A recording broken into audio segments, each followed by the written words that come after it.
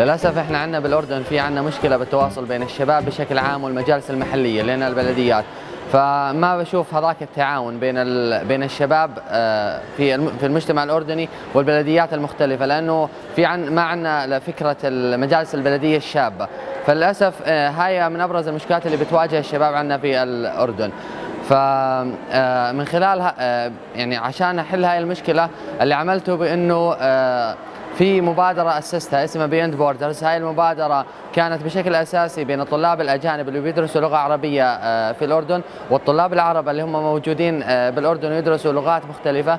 فهاي المبادرة كان لها عدة أهداف. آه، من الهدف الأساسي لهاي المبادرة كان في هدفين أساسيين، الهدف الأساسي الأول كان بأنه إحنا نعطي نعطيهم فرصة بأنهم يتعلموا اللغات الأجنبية الثانية، وشيء ثاني بأنه إحنا نتعلم من خبرة البلاد الغربية سواء الأوروبية أو أمريكا أو البلاد المتقدمة هاي بموضوع الحوار بالمجتمع المحلي لأنه للأسف عندهم نضوج آه، في موضوع الحوار بالمجتمع المحلي.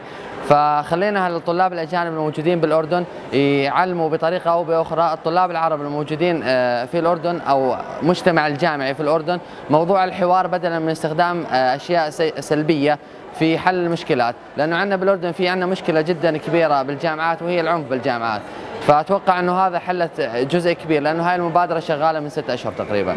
بصراحة أنا لفتت انتباهي التجارب بدولة فلسطين، يعني في تجارب جدا رائعة موضوع العمل الشبابي مع العمل البلدي، فكان في عندهم تطبيق لموضوع المجالس الشبابية الموجودة بفلسطين آه، بحيث إنه في عملية تشاركية بين الشباب ككل آه، في المجتمع آه، في المجتمع في فلسطين والبلدية. بحيث إنه بحيث إنه صار في عندهم تفاعل بشكل أو بآخر إيجابي طبعا بين الشباب بالمجتمع الفلسطيني والبلديات وصار في آه، أشياء كثيرة قدمها الشباب للبلدية مما عزز مفهوم المشاركة بين الشباب والبلديات. بصراحة أنا بشكر آه، مؤسسة أنا ليند لأنهم قدموا لنا هاي الفرصة بأنه نيجي هون ونتعرف على كثير من الشباب ونطلع على كثير من التجارب آه، في في المجال العمل المحلي والعمل الشبابي. لأنه زي ما حكيت لك إحنا بالأردن نفتقر لموضوع آه، اللي هو التعاون بين العمل الشبابي بين المؤسسات الشبابية والبلدية. فبالتالي آه، قدمت لنا فرصة أكبر للتشبيك مع المؤسسات المختلفة والاستفادة من التجارب المختلفة اللي مروا فيها طبعا الدول المشاركة في المنتدى. وشكرا.